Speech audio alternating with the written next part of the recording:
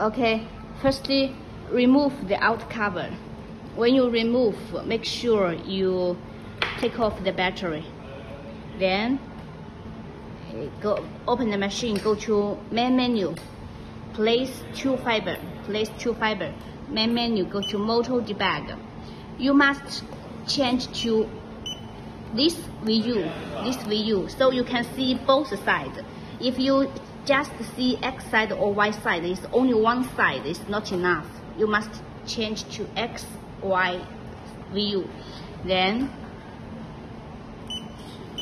change to X-align. So you you keep pressing keep pressing this down button and use your finger to move the big gear here here move this one outside to support it.